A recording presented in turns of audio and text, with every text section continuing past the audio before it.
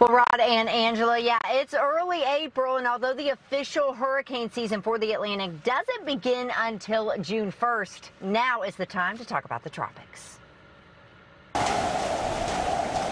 Colorado State University has released their outlook for the 2022 Atlantic hurricane season. Once again, we are looking at an above normal season in the Atlantic. Colorado State's forecast calls for 19 named storms, nine hurricanes, and four major hurricanes. For comparison, the 30 year averages are 14 named storms, 7 hurricanes, and 3 major hurricanes, which is a Category 3 or higher. Dr. Phil Klotzbach of Colorado State is responsible for the seasonal forecasts. He says that the flurry of activity we've seen is likely to continue. So, overall, this kind of continuous La Nina-like signal that we've seen for the last several years looks like it's probably going to persist through this year's hurricane season. If this forecast were to verify and we were to get another above average season, it would be the seventh above average Atlantic hurricane season in a row. So if it seems like it's been busy, it's because it has. So where could we see potential landfalls? Diving into the data released from Colorado State, they say the probability of at least one major hurricane landfall for the entire continental U.S. coastline is 71%.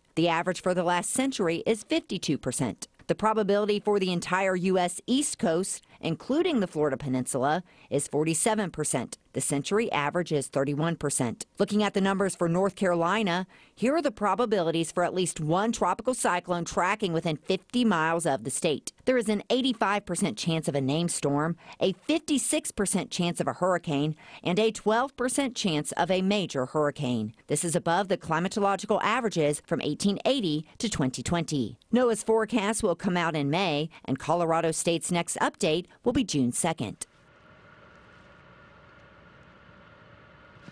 Now, Colorado may seem like an interesting place when it comes to issuing hurricane forecasts, but this is the 39th year that Colorado State's Tropical Meteorology Project has issued their seasonal forecast, so they know a thing or two.